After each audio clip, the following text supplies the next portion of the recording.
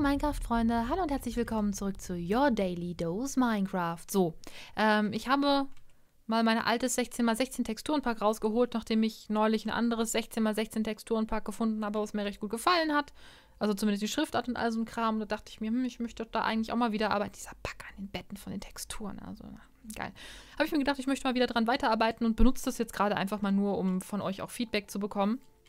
Und zwar sieht das Ganze halt, ja, genauso, ein bisschen, ein bisschen moderner, aber genauso schlicht eigentlich aus. Jetzt müssen wir nur auf Creeper aufpassen, wie halt jedes 16x16 Texturenpack. Man hat nicht so viele Möglichkeiten, da zu arbeiten ähm, und das zu gestalten, weil sind halt nur 16x16 Pixel. Da hat man einfach nicht so viel. Ach, guck mal, da brennt ein Zombie und da hinten ist ein kleiner Creeper. Ist ja süß. Ey, der läuft über unser... Oh, au! Der, der läuft über unseren Weizen. Ey, wenn du den Weizen kaputt machst, ne? Ey, ich spreng dich. Ich sag dir, ich spreng dich irgendwo da, wo... Oh. Einschlag, Tisch und Einschlag, Tisch und der letzte Schlag. Eisenschwerter sind echt super. Ähm, ja, 16x16 Texturen, weiß ich nicht. Könnt ihr mal in die Kommentare schreiben, wie ihr das jetzt hier so empfindet, wie ihr vom Aussehen her mit den Texturen zufrieden seid. Das ist zum größten Teil noch Vanilla, ist ein altes Texturenpack, habe ich jetzt nur mal ein bisschen überarbeitet. Ähm, passt ganz gut zu dem etwas moderneren Look, den wir hiermit erzielen werden wollen können, tun, tuten, tun. Da bin ich mir noch nicht ganz, sicher, wie wir weitermachen. Also hier, das gefällt mir schon mal ganz gut. Das sieht eigentlich auch so schon alles ganz schön aus. Ähm, in der heutigen Folge möchte ich deswegen erstmal mich weiter um Sand kümmern und dann schon mal schauen, wie ich hier oben weitermache. Äh, da hole ich mir jetzt mal das Fichtenholz.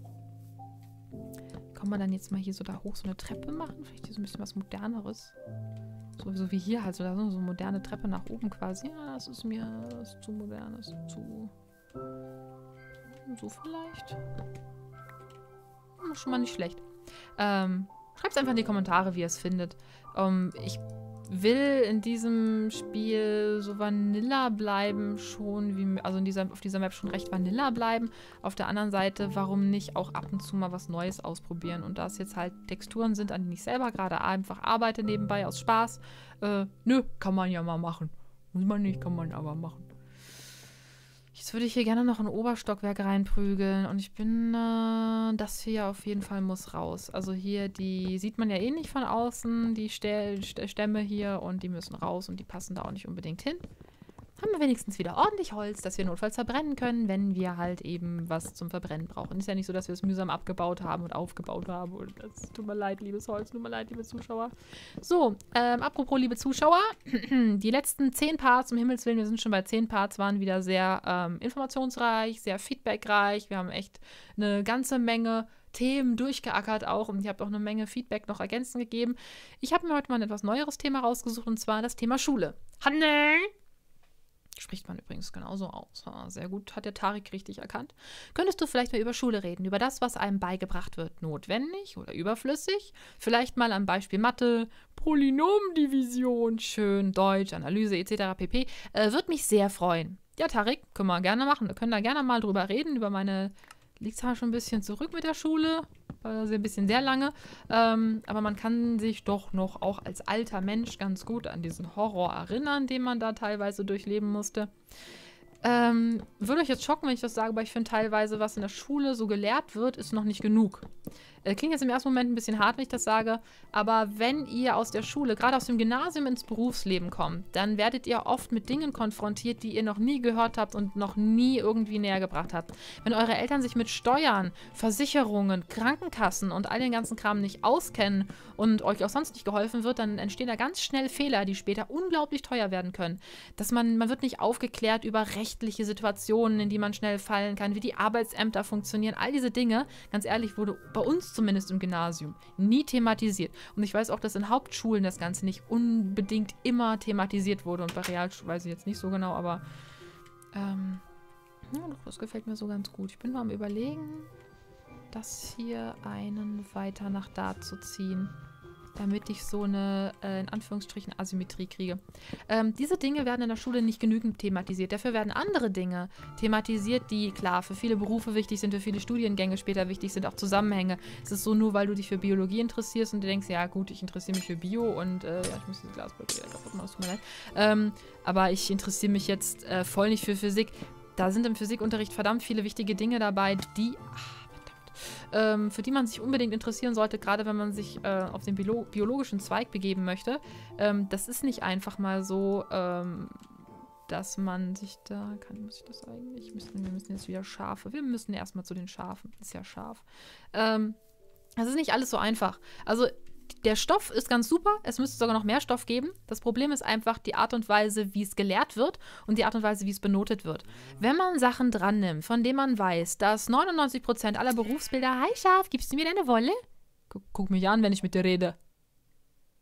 Ey, das kann ich auch, ne? Hier, pass auf, da. Hier, the my ass, my ass. Look at my ass, my ass is amazing. Nein, ich war nicht am Twerken. Das, das sieht nur so aus. Ähm, sagen wir es einfach mal so, ähm, gerade solche etwas schwierigen mathematischen Dinge, die man vielleicht nur bei 10% aller Berufe, die man da so ergreifen möchte, vielleicht braucht, wenn die drangenommen werden. Und ähm, man hat halt selber den Ehrgeiz, ja, ich möchte das lernen und das liegt mir.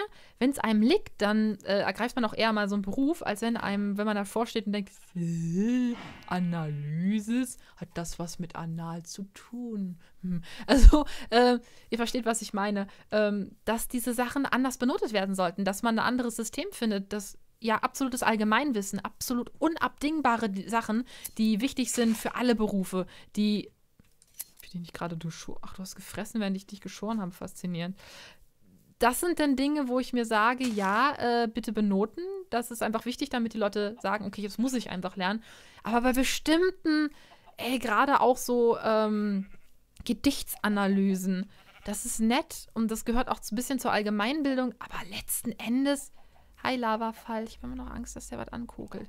Letzten Endes ist es nicht so essentiell wichtig wie zum Beispiel Textanalysen, sind schon eher wichtiger, ähm, dass man das eine vielleicht benotet und das andere nicht benotet, dass man es zwar dran nimmt und dass man die Leute darauf hinweist, für die und die Berufe, das fehlt immer, dass man in der Schule nicht erklärt kriegt, warum man die Scheiße eigentlich lernt. Gerade im Mathematikunterricht stehst du oft davor und dann viele Jahre später fällt dir auf erst ein, ach, dazu kannst du es gebrauchen. Und die kommt mir jetzt nicht mit Textaufgaben. Ganz ehrlich, es gibt so viele behinderte Textaufgaben, deren Sinn einem überhaupt nicht aufgeht, weil man das nicht so gut verknüpfen kann und weil die Lehrer auch nicht in der Lage sind, einem das vernünftig zu erklären. Ganz ehrlich, ich bin da nicht so ein Freund von. Ähm, ich nehme mal ganz viel rote Blumen mit, weil wir die Wolle noch rot färben müssen und weil wir auch noch äh, Glasrot färben müssen.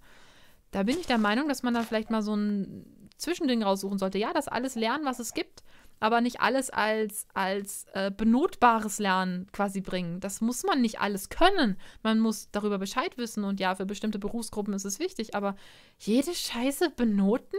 Im Physikunterricht waren Sachen dabei, die gingen in die, die gingen in die Astrophysik ganz allen Ernstes. Wo zum Henker soll ich dann das mal je benutzen können? Ja, so ein paar normale physikalische Gesetze und die Sachen zum Ausrechnen und ist alles in Ordnung und kann ich völlig verstehen.